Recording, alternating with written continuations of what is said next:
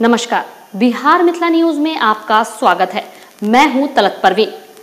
दरभंगा में एमएलसी चुनाव का बिगुल, जैसे ही बजा, सभी राजनीतिक दलों के अंदर से विद्रोह के स्वर उभरने लगे हैं।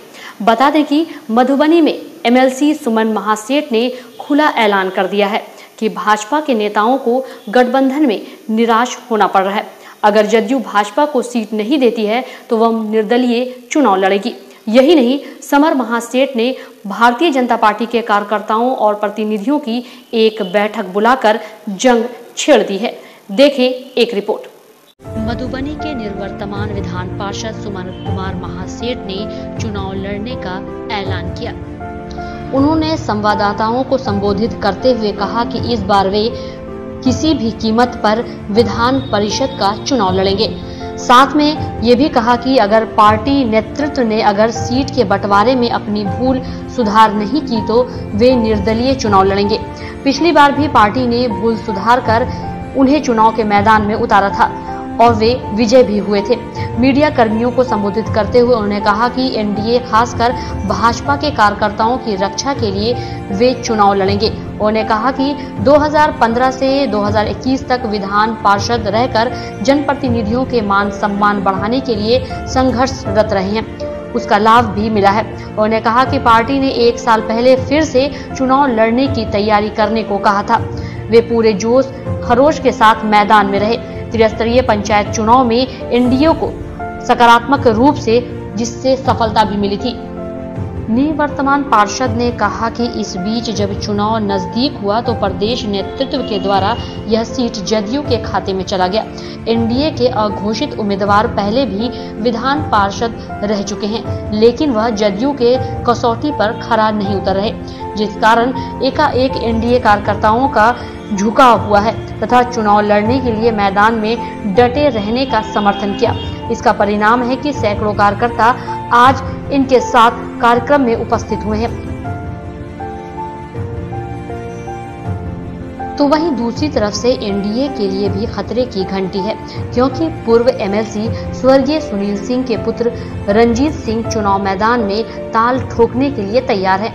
उन्हें आश्वासन भी मिल चुका है और वह क्षेत्र में अपनी दावेदारी को प्रस्तुत करते हुए लोगों के दिलों में अपना दर्द और भावना को बनाने में सफल हो रहे हैं। वहीं दूसरी तरफ़ जनता दल यूनाइटेड से भारतीय जनता पार्टी में शामिल हुए पूर्व बेनीपुर के विधायक सुनील चौधरी भी चुनाव मैदान में दमदार तरीके से खड़े हैं। और सूत्रों की माने तो सुनील चौधरी को इस बार टिकट मिलना लगभग तय माना जा रहा है, जिसकी संभवतः आज घोषणा भी हो जाएगी।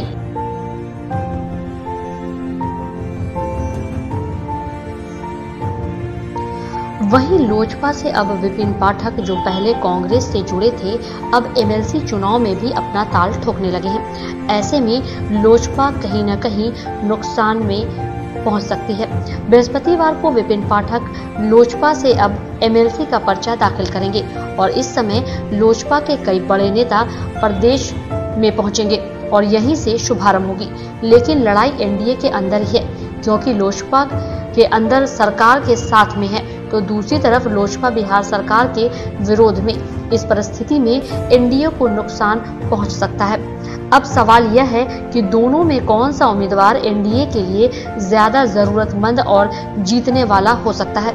रंजीत सिंह या फिर सुनील चौधरी?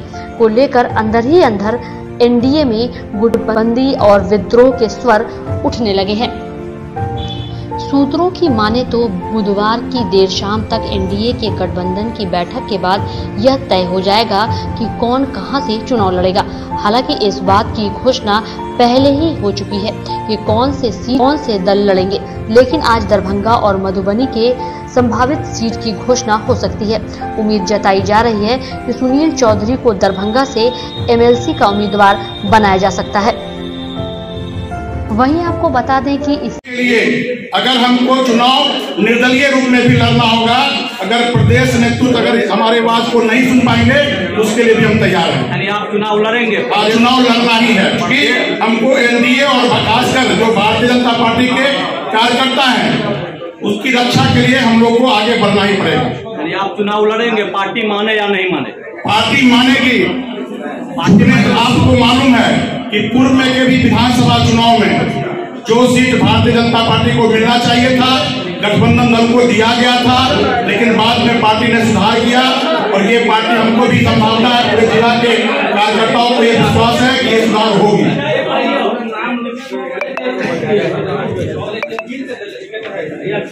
जिताना हो तो एनडीए के उम्मीदवार निश्चित रूप से सोच समझकर कार्यकर्ता के मनोभाव के अनुरूप, जो हमारे मतदाता हैं, उनके मनोभाव के अनुरूप प्रदेश कमेटी को निर्णय लेना चाहिए।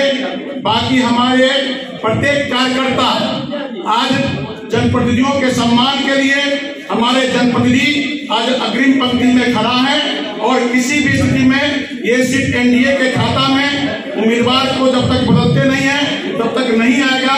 इसी घोष के साथ आज पूरे जिला के कोना कोना से जो एनडीए के कार्यकर्ता यहाँ उपस्थित हैं, इसलिए मैं प्रेस के माध्यम से पुनः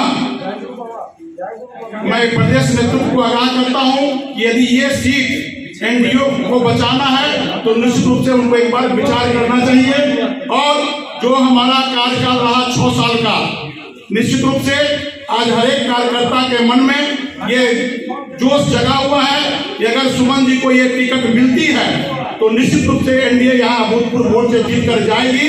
इसीलिए मैं सभी कार्यकर्ताओं से आज पूरा रणनीति, आगे का चुनाव का रणनीति, चूँकि अब समय भी नहीं है, रणनीति बनाने के लिए पूरे कार्यकर्ता के साथ में है। बस इतना ही मेरा कहना है। धन्यवाद। बंदी और विद्रोह के स्वर उठने लगे हैं। सूत्रों की माने तो बुधवार की देर शाम तक एनडीए के गठबंधन की बैठक के बाद यह तय हो जाएगा कि कौन कहाँ से चुनाव लड़ेगा। हालाँकि इस बात की घोषणा पहले ही हो चुकी है कि कौन से सीट, कौन से दल लड़ेंगे। लेकिन आज दरभंगा और मधुबनी के संभावित सीट की घोषणा हो सकती है। उम्मीद जताई जा रही है कि सुनील चौधरी को दरभंगा से एमएलसी का उम्मीदवार बनाया जा सकता है। वहीं आपको बता दें कि इससे संबंधित खबरों पर हमारी पैनी नज़र लगातार बनी रहेगी कि एमएलसी चुनाव में कौन से उम्मीदवार सक्षम हैं और कौन दमखम के साथ मैदान में उतरेंगे।